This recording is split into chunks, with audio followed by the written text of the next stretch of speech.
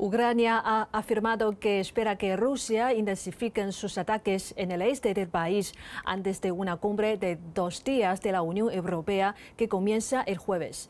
Se espera que los Estados miembros de la Unión Europea aprueben el estatus de candidato de Ucrania durante la reunión. Las fuerzas rusas buscan actualmente hacerse con el control total de la estratégica ciudad de Severodonetsk.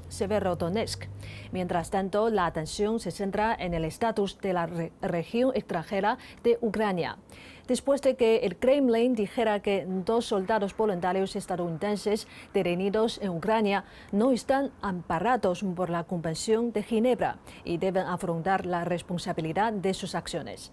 Además, el ejército ruso ha declarado que la televisión rusa ya emite en la región de Gerson, en el sur de Ucrania.